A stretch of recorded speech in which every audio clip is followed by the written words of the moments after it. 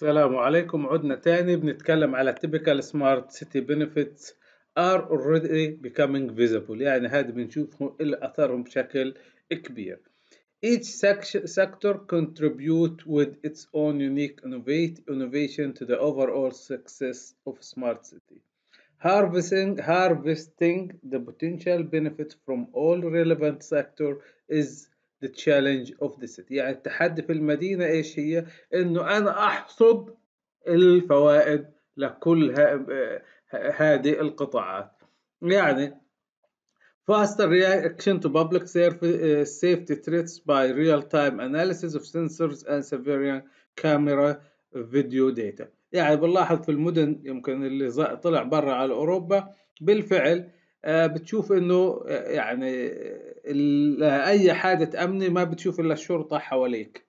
يعني هي بتمنع هذا الحادث لأن هي مراقبة كل شيء smoothened distribution of tourist geographical and over time by analysis of tourist movement and real incentives.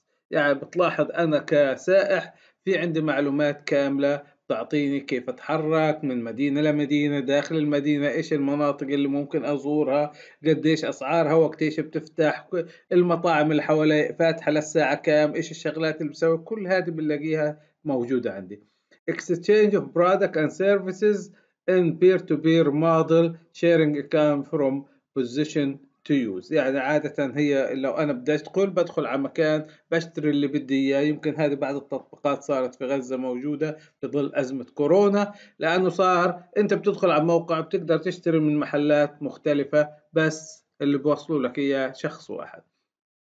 Dynamic groups of citizens organize themselves to work together on collective interest هذه لسه إحنا ما وصلناش لها بس العالم الخارجي وصلها إنه على ال social media أو على platform معينة هم بينظموا بعض وبيشتغلوا وبيعملوا آه بصير لهم interest محدد. هذه جزئيا بس لحتى الآن إحنا ما وصلناش لها في العالم العربي.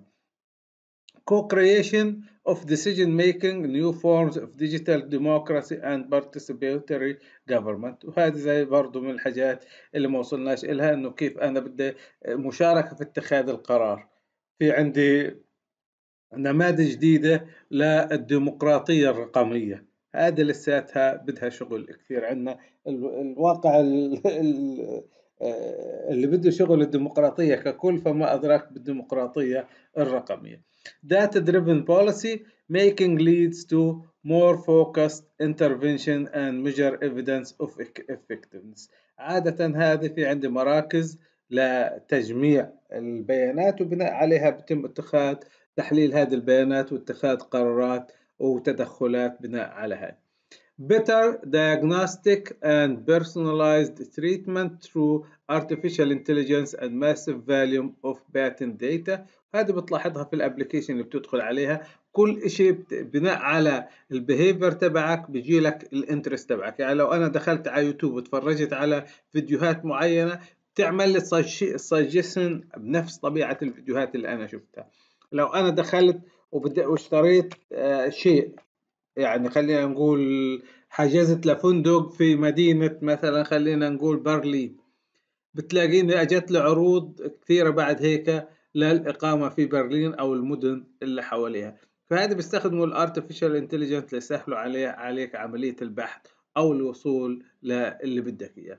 People who need care can live in their own home longer through advanced sensing and healthcare robotics. زمان كان الناس اللي بدهم مساعدة أو صحية أو بدهم مراقبة صحية لازم يروحوا المستشفيات أو الأماكن الخاصة بالعجزة أو الكبار السن أو الغيره. فهذه بت...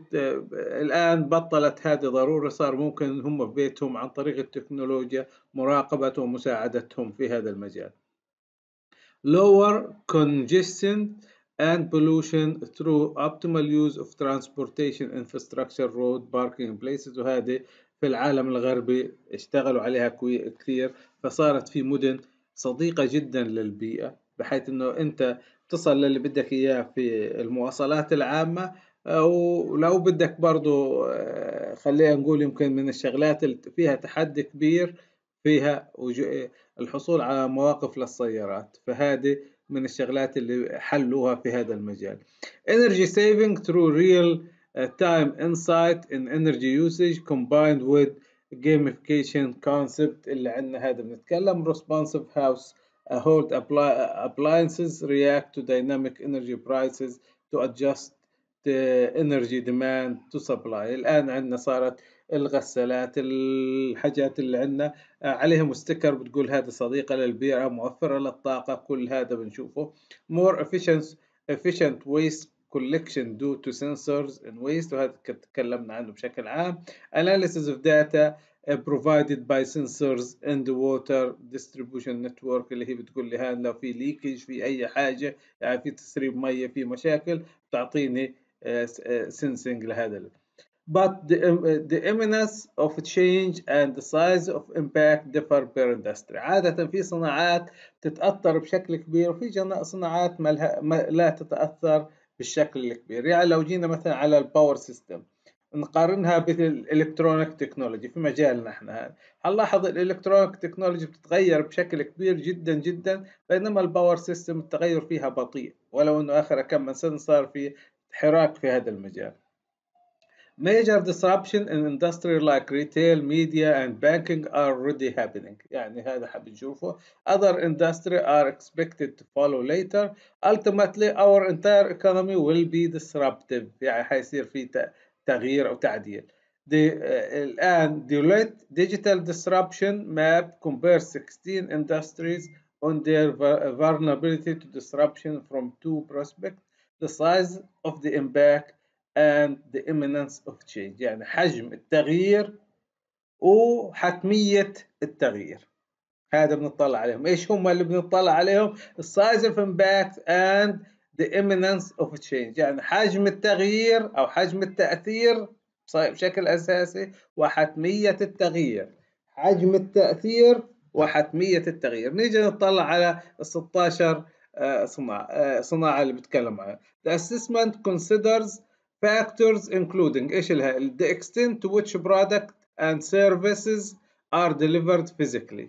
هذا من الشغلات طلع طبيعتها هل هي تت يعني لا بلزمها توصيل أو إنتاج فيزيكلي يعني بشكل موجود هاد ولا لا.